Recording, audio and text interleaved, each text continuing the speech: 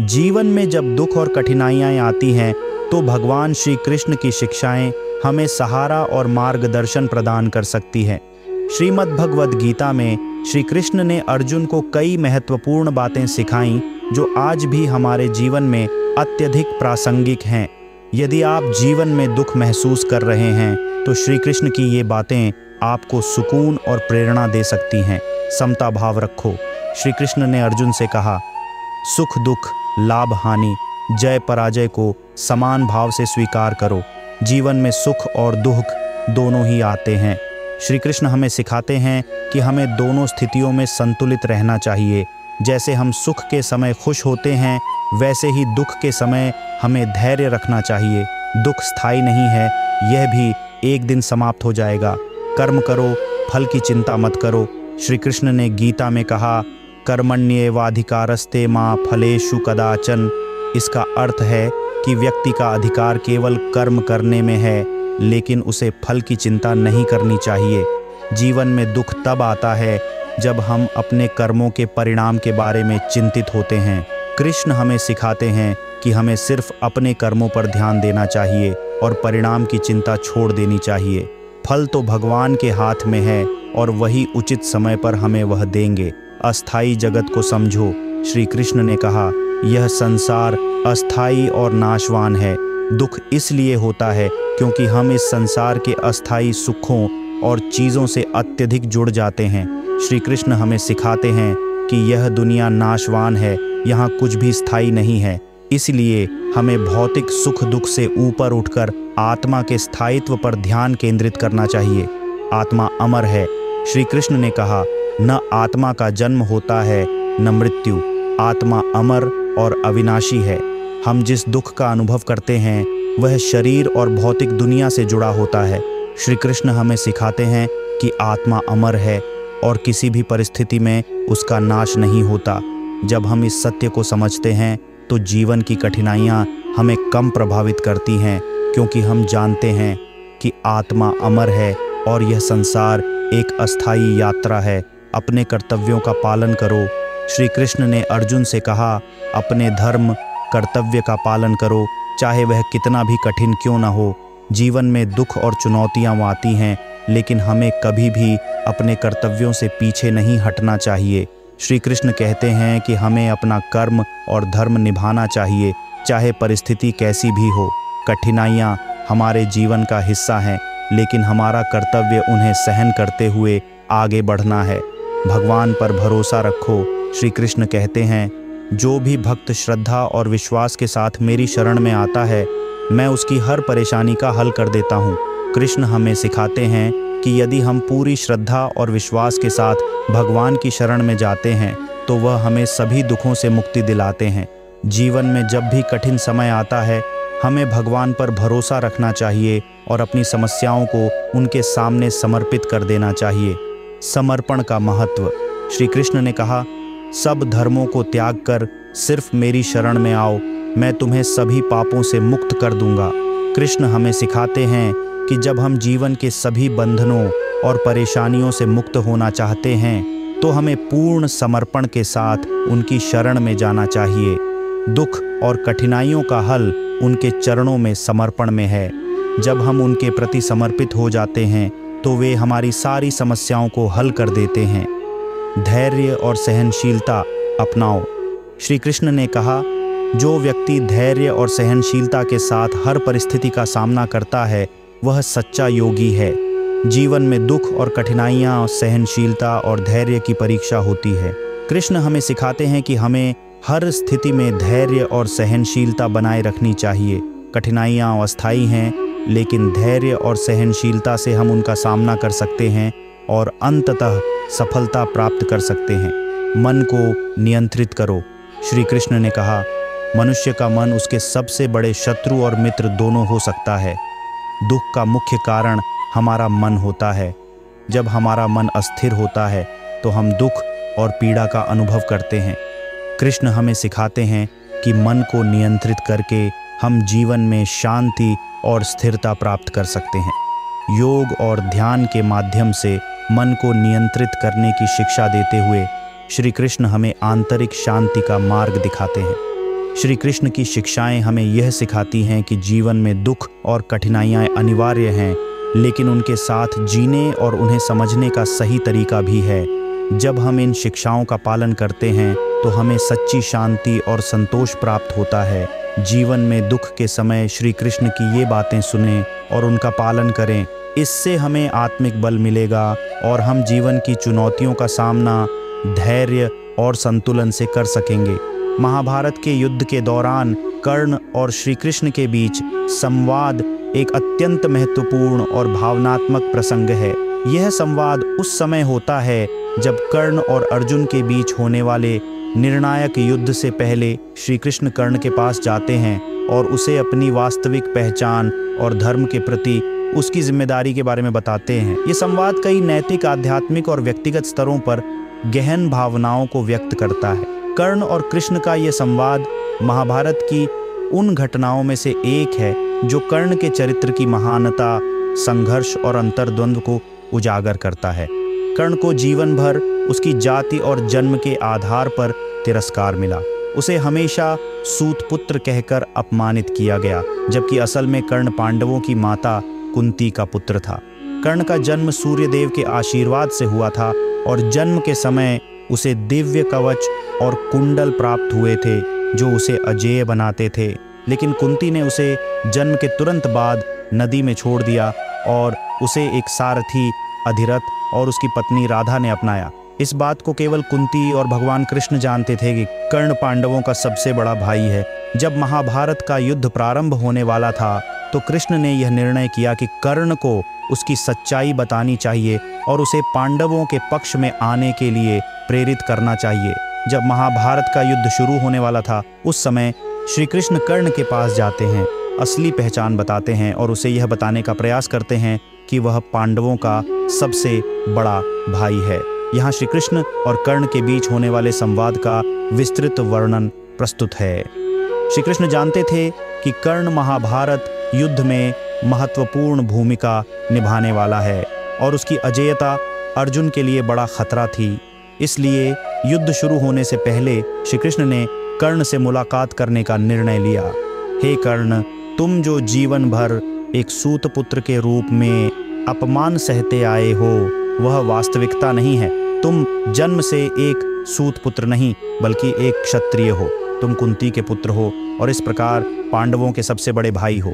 तुम्हारे पिता सूर्यदेव हैं और तुम्हारा जन्म एक विशेष उद्देश्य के लिए हुआ था। कर्ण, जो हमेशा अपने सूत पुत्र होने की पहचान से पीड़ित था, इस सत्य को जानकर आश्चर्यचकित हो जाता है। लेकिन वह तुरंत शांत होते हुए श्री कृष्ण से कहता है, हे केशव, तुमने जो मुझे मेरे जन्म की सच्चाई बताई, वह मेरे लिए सम्मान की बात है। लेकिन मैं आज भी वही कर्ण हूँ, जिसने अपने जीवन का हर क्षण संघर्ष और अपमान में जिया है। मुझे दुर्योधन ने अंगराज का सम्मान दिया। जब किसी ने मुझे अपनाने से इनकार कर दिया, मुझे उसकी मित्रता और उपकार का ऋणी हूँ।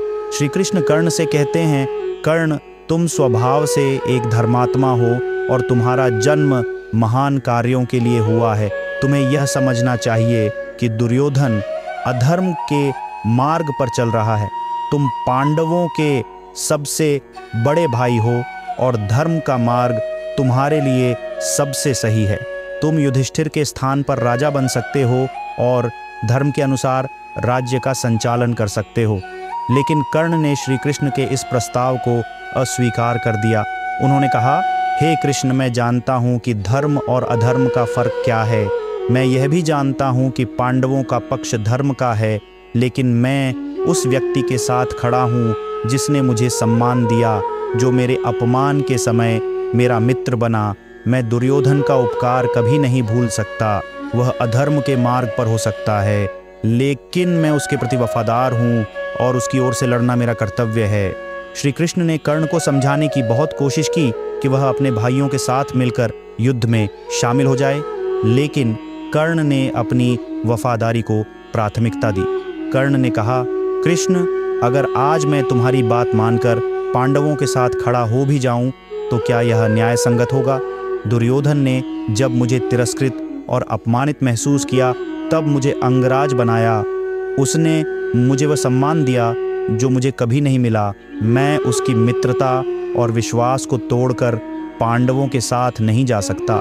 कर्ण ने यह भी कहा कि वह हमेशा से एक योद्धा की तरह सम्मानित जीवन जीना चाहता था और अब वह एक योद्धा की तरह मरना चाहता। मुझे पता है कि अंत में अर्जुन ही मुझे मारेगा, लेकिन मैं अपने धर्म और वफादारी को कभी नहीं छोड़ूँगा। कृष्ण का कर्ण को अंतिम सलाह श्री कृष्ण ने कर्ण को बहुत समझाया कि वह अपने जीवन के संघर्ष और अपमान से ऊपर उठकर अपने भाइयों का साथ दे, लेकिन कर्ण अपने निर्णय पर अडिग रहे। श्री कृष्ण ने अंततः कहा, कर्ण, तुम्हारा हृदय महान है और तुम्हारा त्याग अद्वितीय है। मैं तुम्हारे निर्णय का सम्मान करता हूँ, लेकिन याद रखना कि युद्ध में जो भी होगा, वह तुम्हारे कर्मों का परिणाम होगा। तुम्हारे पास धर्म का मार्ग अपनाने का अवसर था, और तुमने उसे ठुकरा दिया। श्री कृष्ण के इस संवाद के बाद भी कर्ण अपने मार्ग से नहीं हटे। उन्होंने धर्म के मार्ग को स्वीकार करने की बजाय अपनी मित्रता और वफादारी को प्राथमिकता दी। कर्ण जानते थे कि वे अधर्म के पक्ष में खड़े हैं, लेकिन उन्होंने अपने जीवन के सिद्धांतों को तोड़ने से मना कर दिया। कर्ण की यह दृढ़ता और त्याग उन्हें महाभारत के सबसे अद्वितीय पात्रों में से एक बनाती है। उन्होंने अपने जीवन भर संघर्ष किया, अपमान सहा, लेकिन कभी भी अपने आदर्शों और मित्रता के प्रति बेईमानी नहीं की। यहीं पर उनका चरित्र नायकत्व को छूता है, क्योंकि उन्होंने अपनी परिस्थितियों को ध्यान में रखते हुए अपने कर्तव्यों का पालन किया, भले ही अंत में उनकी हार सुनिश्चित थी। कर्ण और श्री कृष्ण के इस संवाद से हमें कई महत्वपूर्ण बातें सीखने को मिलती हैं। सबसे पहले, यह संवाद हमें यह सिखाता है कि जीवन में नैतिकता और धर्म का पालन करना कितना महत्वपूर्ण है। श्री कृष्ण कर्ण को धर्म का मार्ग दिखाने का प्रयास करते हैं, लेकिन कर्ण अपनी वफादारी के कारण उस मार्ग को नहीं अपनाते। कर्ण का यह निर्णय दर्शाता है कि हमारे जीवन के मूल्य और सिद्धांत हमें किस दिशा में ले जाते हैं। कर्ण ने अपने जीवन में कई कठिनाइयों का सामना किया, लेकिन उन्होंने कभी भी अपने सिद्धांतों को नहीं छोड़ा। उनके जीवन का यह अंतर्द्वंद्व हमें यह सिखाता है कि जीवन में हमेशा धर्म और न्याय का पालन करना चाहिए चाहे परिस्थितियाँ कैसी भी हों, कर्ण की महानता, उनके संघर्ष, त्याग और वफादारी में निहित है। वे जानते थे कि उनका निर्णय उन्हें मृत्यु की ओर ले जाएगा, फिर भी उन्होंने अपने मित्र और सिद्धांतों को नहीं छोड़ा। यही कर्ण की महानता है और यही कारण है कि वे महाभारत के सबसे प्रेरणादायक पात्रों में से एक हैं। मित्रों, आशा करता हूँ आपको इस वीडियो से बहुत कुछ सीखने को मिला होगा। आपको वीडियो अच्छा लगा हो तो वीडियो को लाइक और चैनल को सब्सक्राइब करें। इस वीडियो को अपने प्रियजनों के साथ अवश्य शेयर कीजिए और कमेंट में जय श्री राधे कृष्ण लिखना ना भूलें।